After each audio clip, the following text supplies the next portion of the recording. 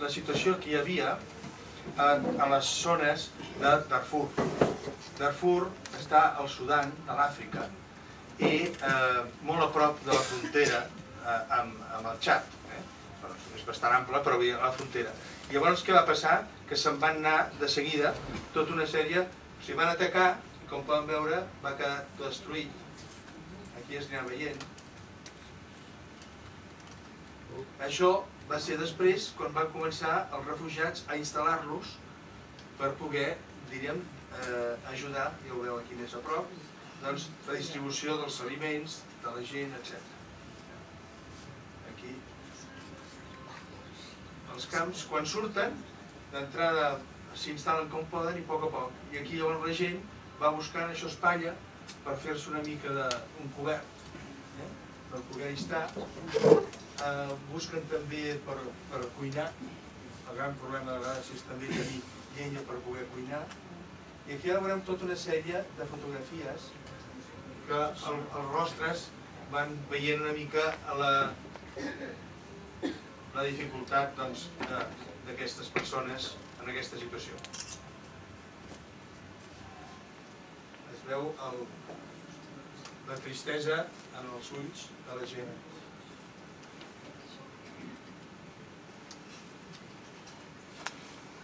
Nosaltres necessitem aigua, nosaltres volem protecció, nosaltres volem educació. Que veiem en aquesta situació.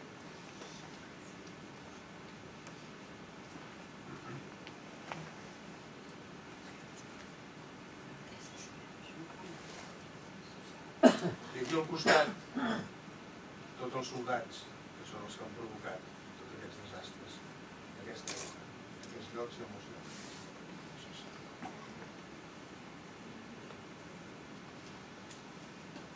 I les dones que estan fent cua per anar a buscar els aliments. A molts llocs, sí, perdó, gràcies. Veu els camells, perquè és tota una zona també desèrtica, que van d'un costat a l'altre.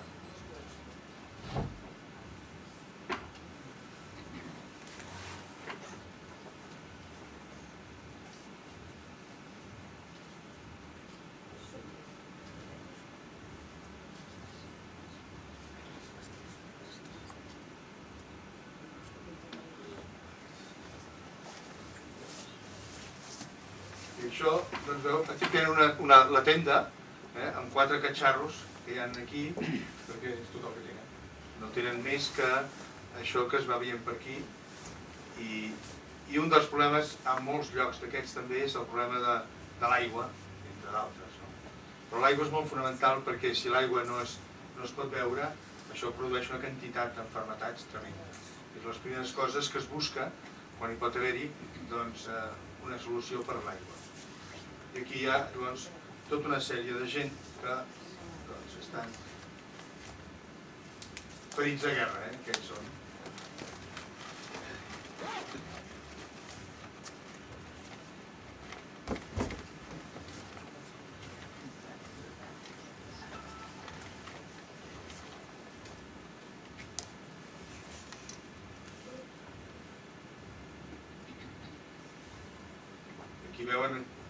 Ferides de, de la guerra que han quedat uns i altres.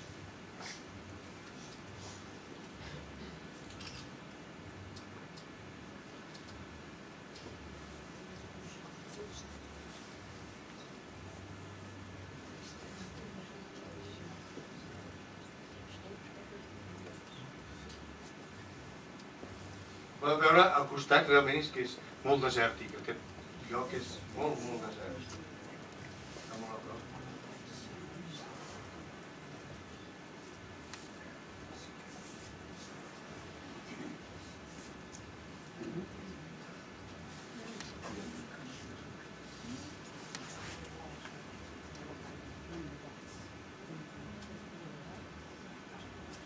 Això és una de les coses, posa mai més, perquè eh, realment el que els vol és que no torni a passar mai més una cosa d'aquestes. Doncs ara veurem aquí, aquí tenim un mapa de, del món eh, que ens dona la, la situació. En aquests moments, en aquí, en el, és important veure on en aquests moments hi ha més refugiats. Refugiats vol dir gent que ha sortit, com veurem també més tard, anirem explicant, eh, que han deixat el seu país i han tingut que marxar, passar una frontera i anar a un altre país per tenir més seguretat per viure. Que no sempre de vegades són ben rebuts, i això també els fa, eh, és un problema afegit que tenen. Per tant, la majoria estan aquí a l'Àfrica i després tota aquesta zona aquí, al centre, el que deia, doncs, tot Síria, tot això eh, és un lloc important. I treballar en, aquestes, en aquests llocs bueno, doncs, també dona moltes vegades una dificultat eh, afegida, eh? perquè, per exemple, ara fa dos dies, un company jesuïta de la Índia, que havia estat precisament director del Servei Jesuïta Refugiats a la Índia, estava treballant a Afganistan i a, abans d'ahir l'han alliberat, que es havia mort. L'han alliberat, però després de 8 mesos. Ha estat 8 mesos que ningú sabia si estava viu o mort i, i em sembla que ara necessita una cura psicològica de, tranquil·litat després d'aquests 8 mesos. Però bé, aquest és un. Llavors, aquí el 2007, eh, des del 2007, va ser un canvi important. El món ha canviat en molt poc temps, perquè cap a finals del segle XX es comptaven que eren uns 40 milions de persones que vivien fora del seu país d'origen. El 2004, més de 200 milions de persones vivien fora del seu país d'origen. 200 milions de persones, del 3, això seria el 3% de la població mundial. D'aquestes, 50% són dones, 30% joves i 20% són homes. I llavors, la migració forçosa té lloc en un món en canvi globalitzat.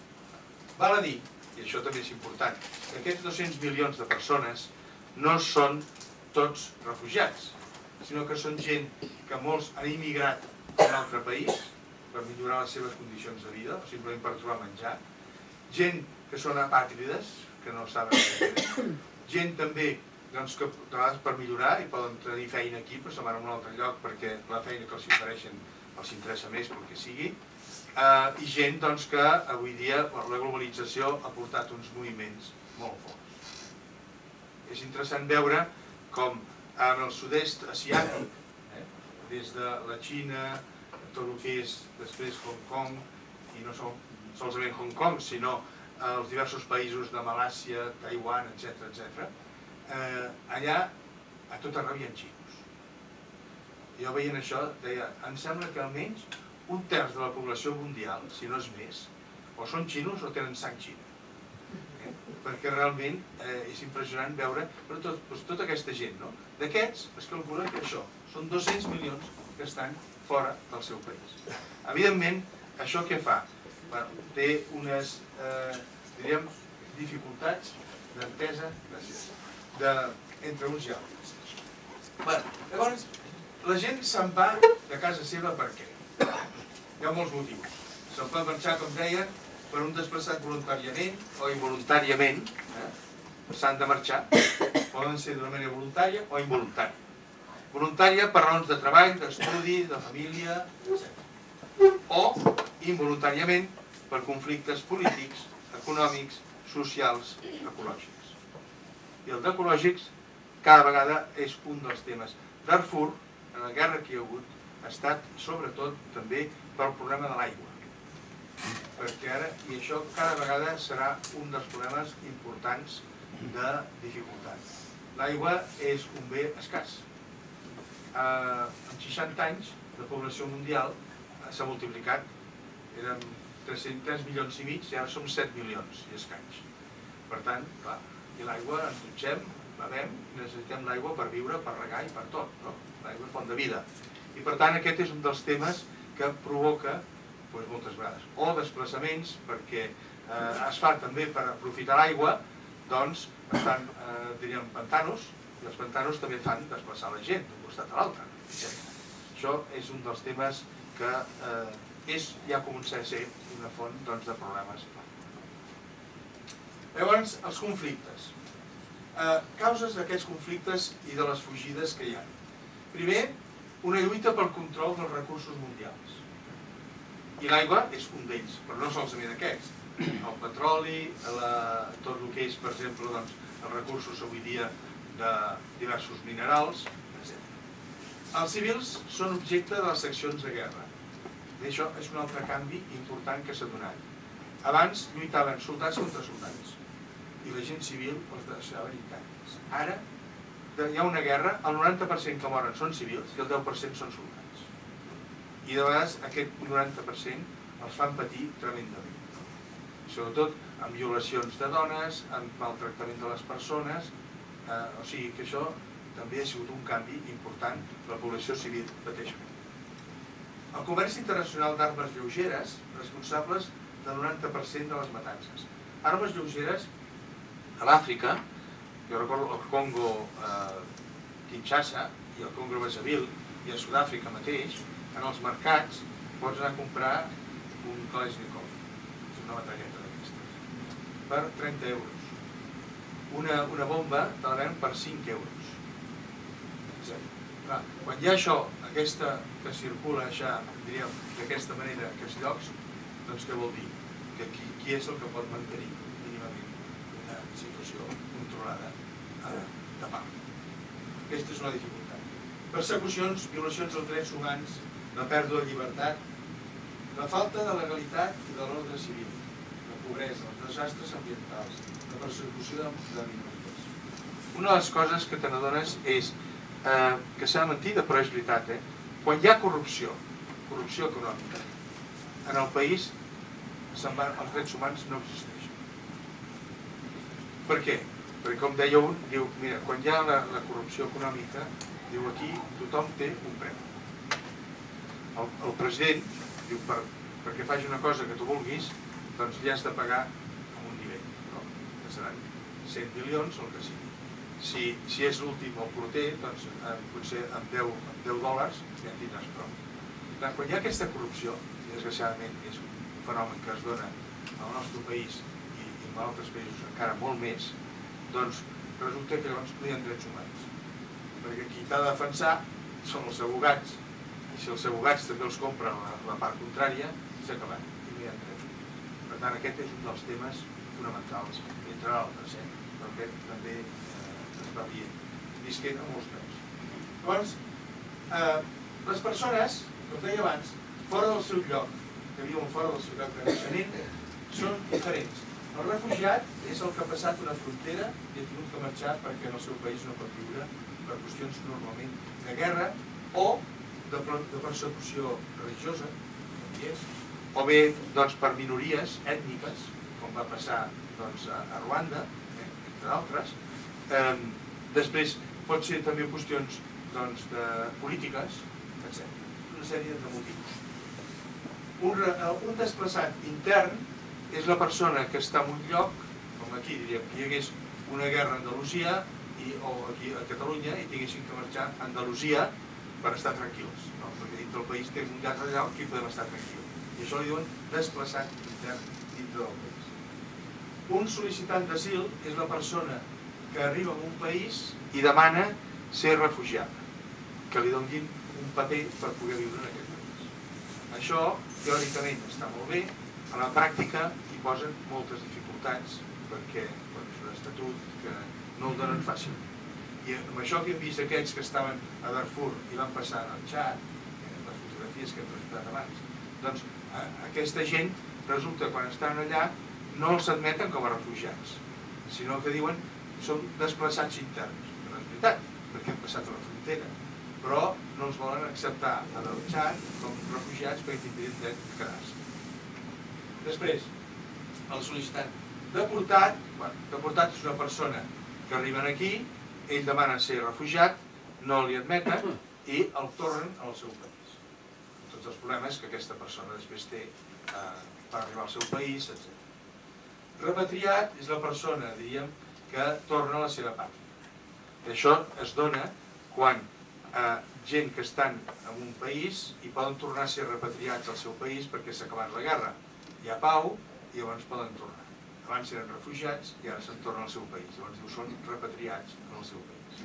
Que això és el més maco que hi ha. Quan veus que els refugiats els pots acompanyar que tornin al seu país, això és, una, és el que es, es pretén, no? Immigrant, immigrant, eh? ara en diuen a tots migrants, eh? migrants, és persona que surt del seu país i se'n va a un altre. Eh? Diríem. I normalment el migrant és per raons de... Eh, doncs perquè tenen el seu país no poden viure i no poden menjar. Molts dels migrants que tenim aquí, de diversos països, no és moltes ganes, direm, no venen aquí per, eh, per millorar les seves condicions de vida, sinó moltes vegades per poder sobreviure no? i poder menjar i poder que els fills vagin a l'escola i tenir, si estan malalts, que tenir, tenir salut, etc. Perquè realment això en molts països doncs, no és aquesta la situació que tenim nosaltres aquí. I després els apàtrides. Apàtrides són la gent que no tenen papers, pel que sigui s'han anat a un paper, han perdut els passaports o han passat a un altre lloc, no s'accepta en aquest lloc i en aquests moments es calcula que en el món ja són uns 10 milions més o menys controlats, perquè quan totes aquestes xifres, com que no es poden controlar exactament qui ho són, doncs podria ser que siguin molts més. Però un dels casos és, per exemple, eh, els haitians que van anar a treballar per tallar la canya de sucre durant molts anys, però anys ja fa, eh? que anaven allà a, a, a la República Dominicana, que es quedaven allà, tenien fills, i llavors ni amb ells ni els seus fills els admeten com els donen el document de ser, diríem, de dominicans. Com que tampoc han nascut a Haití, tampoc els hi donen, i tens una quantitat de gent, però que ara ja és més d'un milió i pico de persones, sense papers. El qual que no vol dir que no, no tenen cap dret. No poden viatjar, no poden fer res. Aquest és una, un dels temes seriosos que hi ha amb aquests de les L'any 1980. Això és simplement, eh, diríem, perquè vegin una organització, la que jo vaig ser aquest el director, eh, que és de treball pels refugiats, i es diu el Servei Jesuïta de Refugiats. I va ser l'any 80, el pare general que tenien, que potser vostès alguns han sentit, que era el pare Pere Rupe, no? Un gran, una gran persona, i que realment era molt sensible a tots els problemes del patiment de la gent. I ell, quan va estar eh, visitant a Hong Kong, va anar i es va trobar que el, en el mar, en el mar, eh, d'allà hi havia unes gàbies fetes de fusta, eh, així, amb la gent a dins, a sobre de l'aigua. I llavors eh, era els que venien de Vietnam, de la guerra, se'n recorden, del Vietnam, que va ser bueno, tot el moviment també Estats Units, etc, que protestant perquè eh, bueno, hi aquesta guerra que no s'acorda. Llavors van arribar allà i ell mateix va veure aquella gent que els tenia amb aquestes gàbies sobre i els hi donaven al dia aigua per beure i, i un plat d'arròs. I ell va dir, això és impossible, que hi hagi gent que estigui visquent d'aquesta manera, diu, quan eh, els, els, gassos, els, gots, els gossos i els gats que tenim a casa, doncs resulta que els tractem millors que això. Diu, això no pot ser. Llavors va arribar i es va així aquí, quan diu, impressionat pel sofriment de milers de boat people, el boat people era la gent que sortien amb, amb barques, com aquests que ens arriben ara aquí doncs, al sud d'Espanya, per sortir, per bueno, anar, i de vegades no sabien on t'arribaven. Aquests van arribar a Hong Kong, però hi va haver gent que se'n va anar a Taiwan i fins a, a Austràlia. O sigui, que passaven realment unes penúries molt fortes. I diu, eh, refugiats, he sentit que era el meu deure enviar telegrames a 20 superiors generals que estan per tot el món compartint la meva preocupació amb ells, preguntant, i els vaig preguntar què podien fer en els seus respectius països i què podien fer la companyia universal o la companyia Jesús per portar una mica d'ajuda i de tendresa als nostres germans que es trobaven en aquesta situació tan tràgica. I a partir d'aquí ell va ser el que va dir comencem això. I bueno, el que li va sorprendre és que ho va fer-ho eh, fent aquestes diríem, superiors generals eren religiosos i religioses, que ell coneixia, i els va dir, i en, bueno, en una setmana o 15 dies va trobar una resposta fantàstica de gent, doncs, dient, mira, aquí tenim persones que podem, podem ajudar a, a, també a acollir altres persones a les cases on estem treballant i també doncs, econòmicament per poder començar. I així va començar aquesta organització. Llavors, eh, actualment,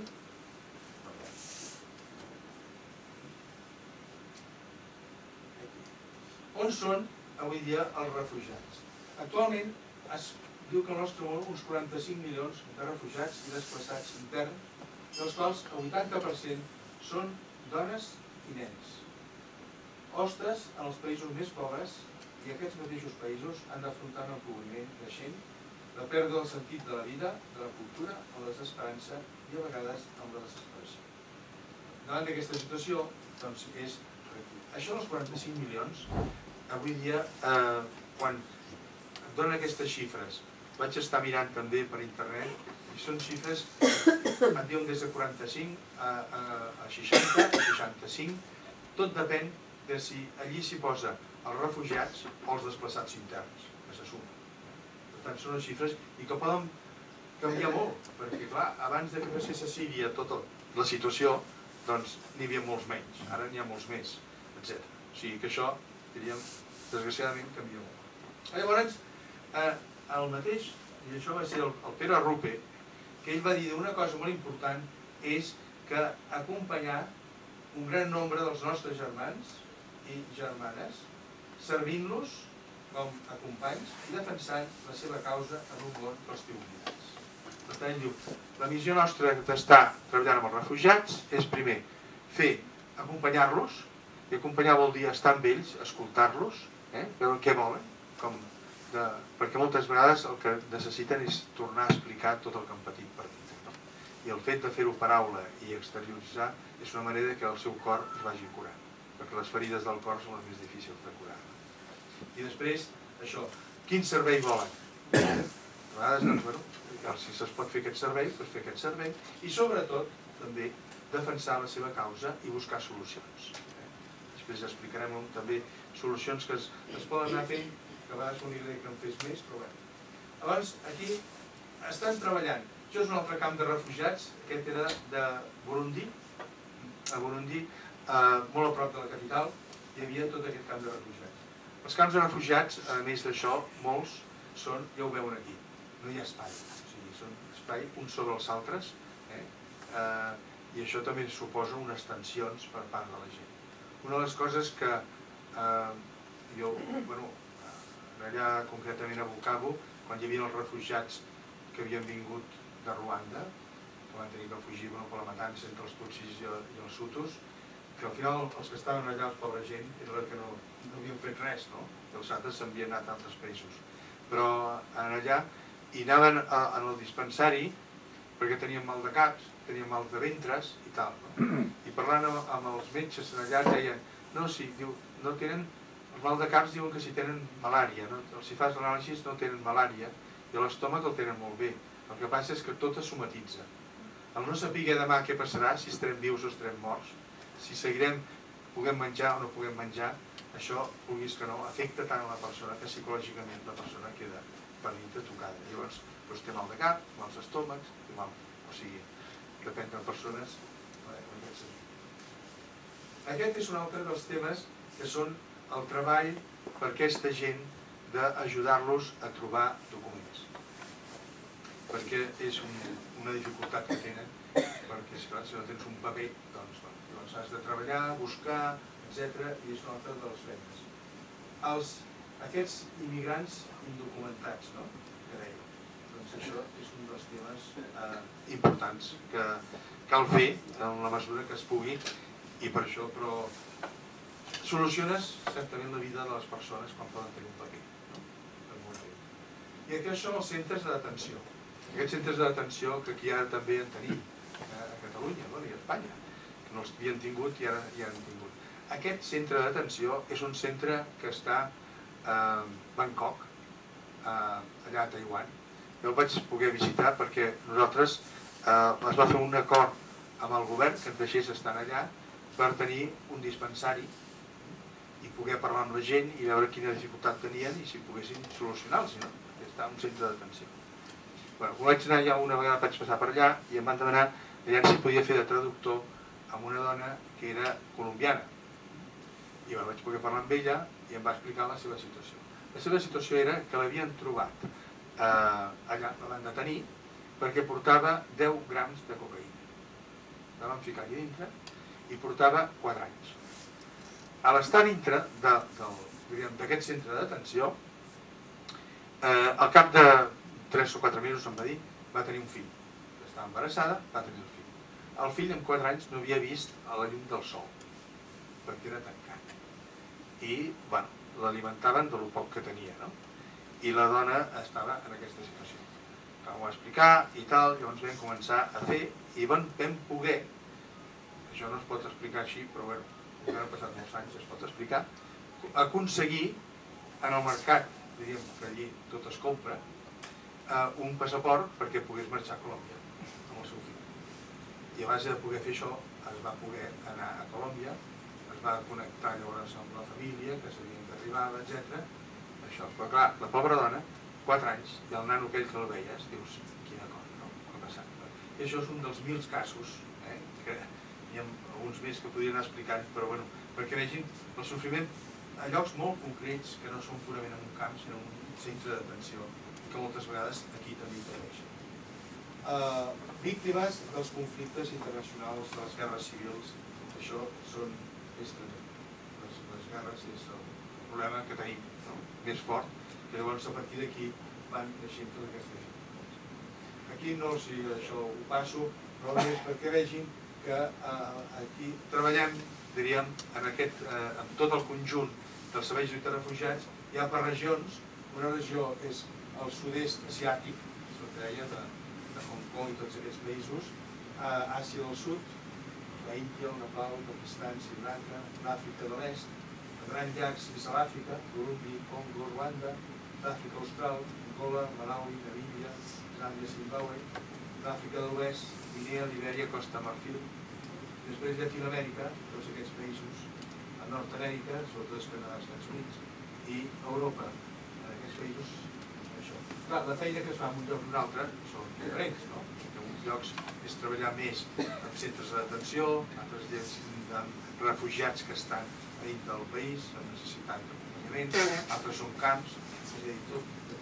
I aquí, bueno, és una mica el que agafen les diverses aquestes eh, llocs on es va treballar.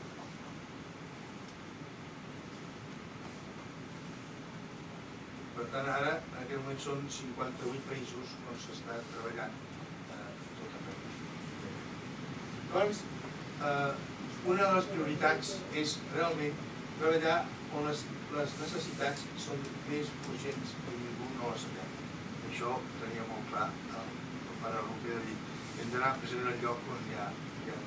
I on ja n'hi ha de gent, ja no hi hem d'anar-hi, d'anar més pocs. Això és el que es fa. Llavors, activitats que vegin, per exemple, en un camp de refugiats. Aquest és un nano, aquí se'l veu però té les dues cames són d'aquestes eh, ortopèdiques, no? Que és impressionant. Aquest, sobretot, això, això és de, de la Camboia.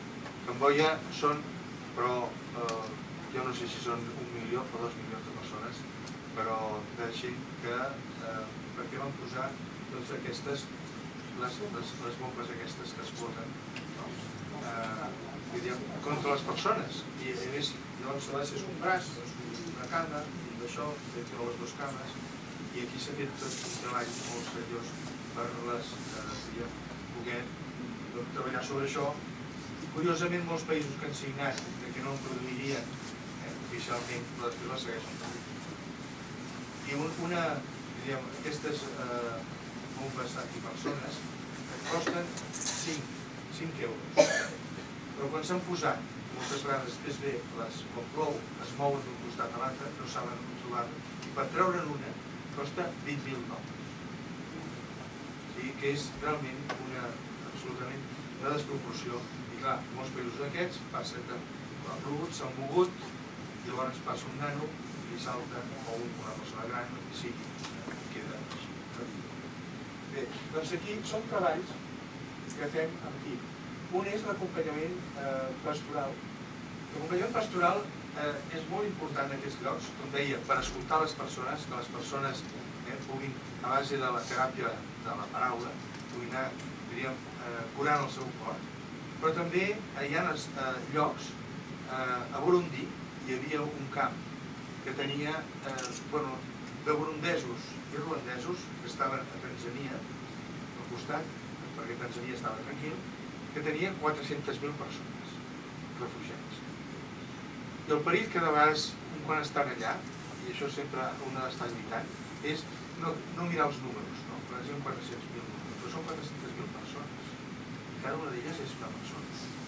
I és estimada per cada un d'ells. I per tant això és molt important, no perdre-ho, perquè si no els números doncs són números. Però bueno, allà una les, la majoria eren cristians, molts catòlics, tant per ser, i després hi havia doncs, protestants de diverses esglésies eh, protestants, però bueno, allí vam tenir que organitzar doncs, tota la pastura i un dels temes. La formació de catequistes, perquè clar, naixien nens, eh, hi havia naixements, hi havia primeres comunions, la gent es casava i la gent es moria. I per tant, per aquest temps. Llavors la pastoral aquí és molt important, perquè diríem, és on de vegades l'experiència que tenen de sentir-se abandonats, però a la vegada poder-se sentir acompanyats pel Senyor. I això és molt important, perquè els dona també una força per seguir endavant i no, no tirar la tovallola. Però a la vegada s'ha d'anar molt de cuidado també, perquè si no el perill és dir, bueno, doncs mira, Déu ja ens ho arreglarà, no farem res nosaltres. No? Per tant, això també és una, no, això ja és una qüestió, diríem, de la pastoral que es fa. Però certament que jo vaig quedar impressionat de veure eh, els testimonis de fe de la gent. Hi ha una que jo sempre que explico, eh, encara la recordo molt, eh, estan en el camp de refugiats en allí, eh, en, bueno, que era la part del Congo, a Bukavu, que eren refugiats, que molts, molts eren catòlics en els camps de refugiats allí que hi havia, que eren de Ruanda, no? els Hutus. I un dia a la missa el diumenge, perquè llavors tenim l'Eucaristia allà, doncs estava jo celebrant l'Eucaristia, i de repent, eh, quan jo vaig acabar de fer una mica l'homilia, s'aixeca una senyora, diu, vull dir una cosa a tota la comunitat que estem aquí. Diu, aquell senyor diu, va matar el meu marit. Diu, jo he estat durant un any i mig pensant com el podia matar. Diu, i no he pogut dormir moltes nits. Diu, i això al final, diu, me n'he donat que davant del Senyor l'haig de perdonar. El que voldria dir davant de tots ara és que el perdono. I que ell espero doncs, que també es converteixi. Diu, però això m'ha donat el perdó. Diu, I des de que jo m'ho he convertit per dintre, no? que l'he perdonat, que ara em sento lliure doncs, per dir-ho això, i ara torno a dormir. Un testimoni d'aquests és impressionant, eh? Perquè clar, tothom es va quedar, jo el primer, no? Que et quedes i dius, ja no surt cap paraula. No? Això. Però, bueno, perquè vull dir, que més bonic veure com en el món, amb una dificultat d'aquestes, no? que hi ha la vida, la mort, no? però també hi ha aquestes resurreccions de persones no? que canvien el cor. I això és, és. I després, educació, primària i secundària, quan jo vaig deixar, eh, que vaig acabar els 8 anys d'aquesta feina, teníem escolaritzats 180.000 nanos, nois i noies, dels quals 100.000, eh, 120.000 aproximadament eren d'escola primària i uns 60.000 d'escola secundària. I clar, era molt interessant la feina, eh, per exemple, a Nepal i a Namíbia, nanos refugiats, eh, a Namíbia van ser dos noies i a Nepal un noi i una noia eren els millors alumnes que va tenir el país. Clar, per què? Doncs perquè, per dues raons. Una, perquè tenien escola durant 11 mesos. Perquè a més els pares també deien, no, no, si millor que es vagin a l'escola perquè si no aquí molesta, no? Per tant, aquesta una primera cosa. I l'altra, perquè els, els nois i noies estaven molt motivats per estudiar. I els pares també. Perquè els pares se n'adonaven de que si els seus fills estudiaven tindrien un, un futur millor i si no, no el tindrien. I per tant, els animaven i això els estimulava molt. Però bueno, organitzar això era... Vas.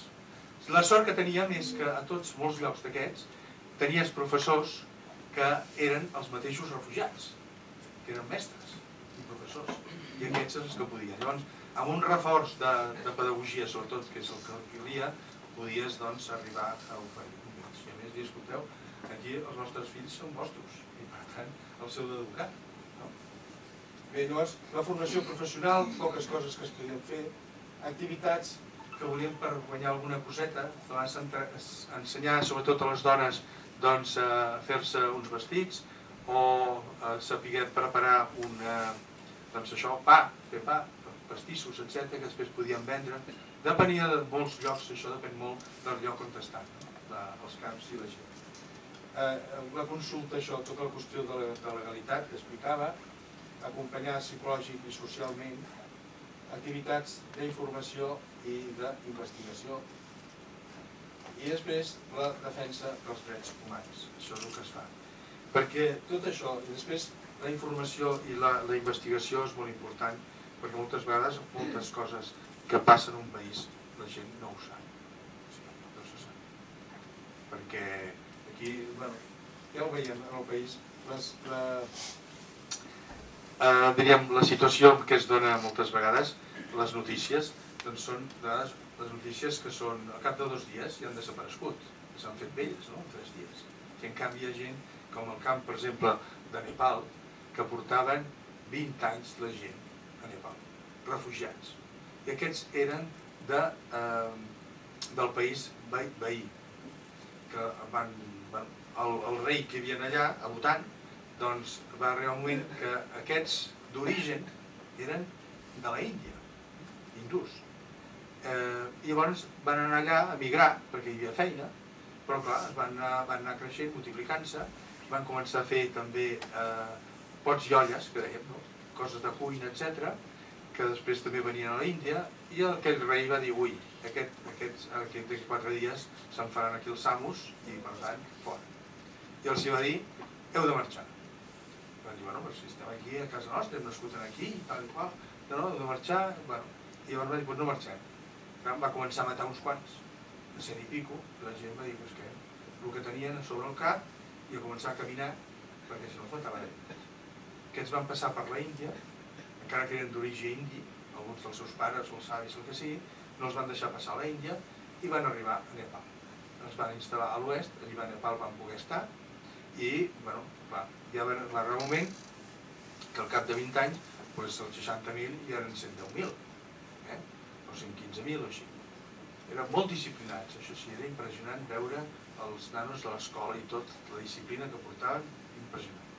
Però, eh, clar, llavors vam dir, escolta, jo vaig dir, aquí no pot ser, aquí no pot ser, aquí hem de buscar una solució d'aquesta, així, porten 20 anys, i clar, perquè en altres països, per exemple, els que van ser durant també 20 anys eh, i més, encara, refugiats a Zàmbia, i, i eh, sobretot a Zàmbia, que eren els d'Angola, eh?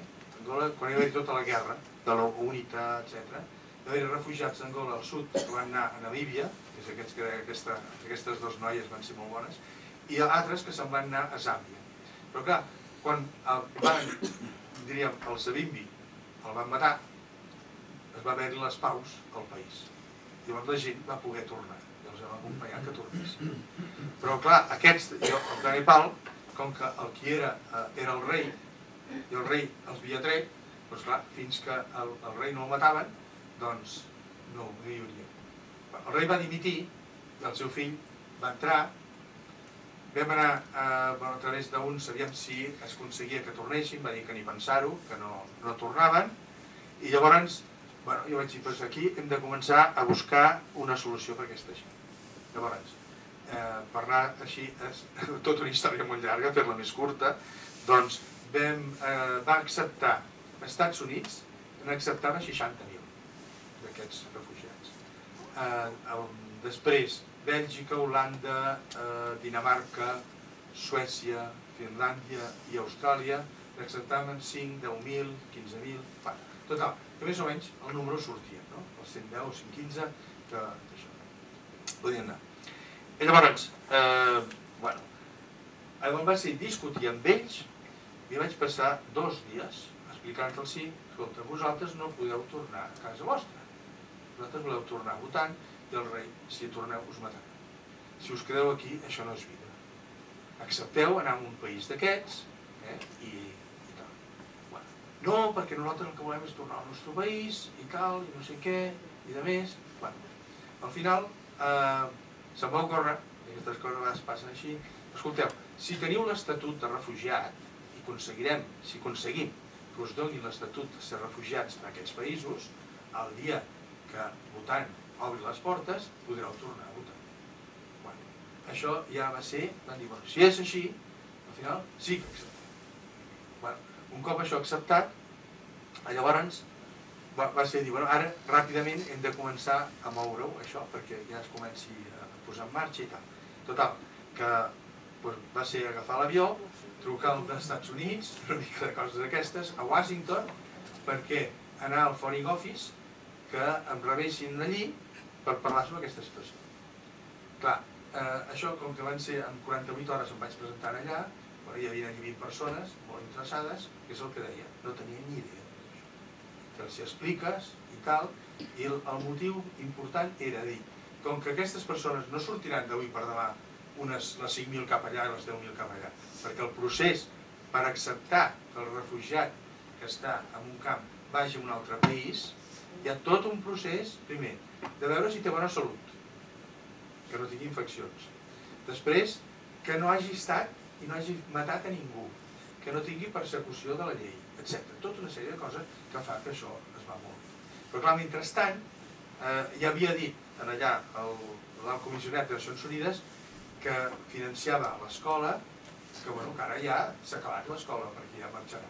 I escolta, no, aquesta gent, hi una gent que encara tardarà 3, 4 anys o 5 anys en poder marxar. Almenys ara ja, el futur ja està marcat, però almenys que puguin seguir estudiant. Bueno, llavors, i, i va ser una, 5 hores de reunió, al final van acceptar que els Estats Units finançaria tota l'educació per tota aquesta gent. No amb ells, perquè clar, aquesta gent havien tingut tot l'ensenyament en anglès. Per tant, gent de, de 19, 20, 30 anys, que sabien parlar anglès, que havien après alguna cosa d'ordinadors, poca cosa, però més o menys habilitats i tot això, doncs, bueno, gent que pot arribar i pot començar ja a treballar i, i a entendre's, no? que és molt important. Per tant, això va ser una, una diguem, és això que deia de buscar solucions definitives per a aquesta gent. I aquí ara tenim eh, beneficiaris, doncs en aquests moments directament poden ser mig milió eh, en aquell moment, però a més en aquests moments a Síria sol s'està distribuint aliments a mig milió de persones més. Aquests ja no es compten milions. Indirectament, clar, perquè això són directes, però les famílies, els pares, les mares, els germans, tot això, alumnes aquests que deia 110.000, alumnes secundaris 50.000, i llavors activitats. Activitats com protegim els refugiats, els desplaçats, els centres aquests de detenció on es treballa, campanyes internacionals contra les mines, els nens soldats. És terrible. Això ara l'altre dia parlava amb uns companys que estan treballant al sud del Sudan i em deien que eh, havien agafat, havien entrat a, a, Uau, que és un dels pobles del sud del Sudan, i van agafar tots els nanos de 12 anys en amunt, apa, nens soldats. Això i els, i es desfan, desfan els nanos tota la qüestió del racisme, xenofòbia, molt important. I després, aquest, el, nosaltres diem de lobby, activitats de recerca, de lobby vol dir això, buscar solucions definitives, no? I intentar incidir i fer gestions per trobar solucions per a aquesta gent. Ginebra, perquè hi ha, eh, allí hi ha l'ACNUR, la seu de l'ACNUR internacional, després Brussel·les, la Unió Europea, també té un pes, cada vegada menys, també s'ha dit, la Unió Europea desgraciadament té molt pes, molt poc, i Washington, eh, aquí sí que hi ha avui, avui dia, per aquestes coses en tenen més. Activitat de recerca, i això ho tenim a la Universitat d'Oxford, eh, a la Universitat de Fairfield que està a Nova York, i al Boston College. El 2007 eren més o menys doncs això, 1.250 homes i dones, uns 135 voluntaris internacionals, i a més això, uns 3.500 refugiats i refugiades que col·laboraven com mestres o treballadors socials, no els deia a vostès que gràcies a això es treballar. Llavors, el finançament, el 2005, eh, era més o menys, però es manté bastant, doncs veu, donatius privats, organitzacions catòliques, càritas, càritas de molts països internacionals que s'ajudaven, governs i organitzacions i altres fonts de la Companyia de Jesús de, i de l'any. O sigui, amb això, però més o menys,